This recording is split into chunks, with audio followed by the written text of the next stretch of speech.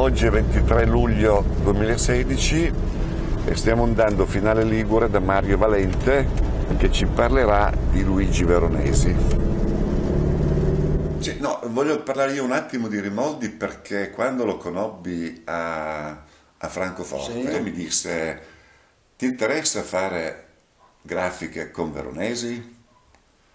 E io gli ho detto Edizioni, naturalmente. edizioni e io ho detto sì mi piacciono grandi e lui mi ha detto non c'è problema quindi mi fece conoscere Luigi. Veronesi che abitava in un appartamento a Milano e lui faceva anche questi quadri enormi Sì, sì, No? ma saliva sulla sedia.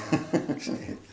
Un La scaletta, la personaggio scaletta. Aveva la scaletta per dipingere i quadri grandi. Eh, sì. lui era piccolo era basso Uomo piccino. Ah, scusa, vai avanti.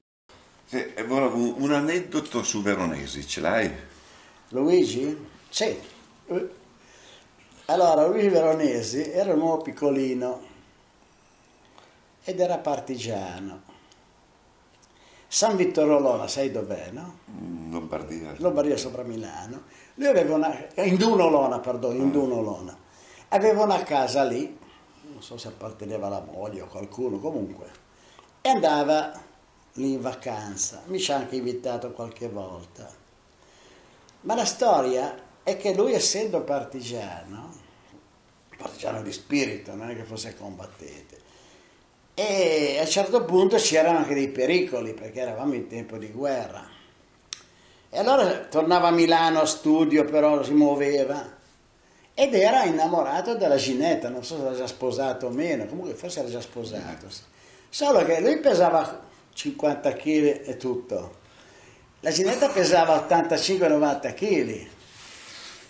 Non essendoci treni, comunicazioni, sai cosa ha fatto il buon Luigi?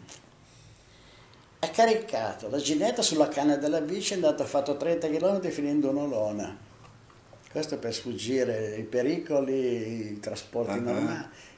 La, gin- la Ginetta sulla canna e, e poi io scherzavo sulla canna, ma non fa niente.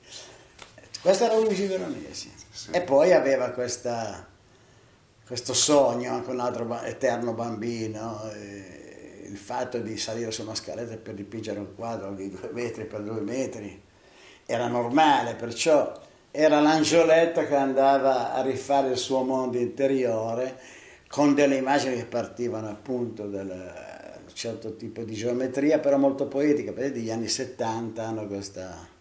Raffinata poesia e il resto tutta la sua struttura, diciamo l'arte concreta di Veronesi, ha sempre una vena poetica dentro. Infatti i Veronesi non ti stancano mai. Mm, E questa è la forza dei quadri, sì. o dell'arte se vogliamo. Sì. Quello che ti fa entrare nel quadro, ti fa pensare e ti lascia bene.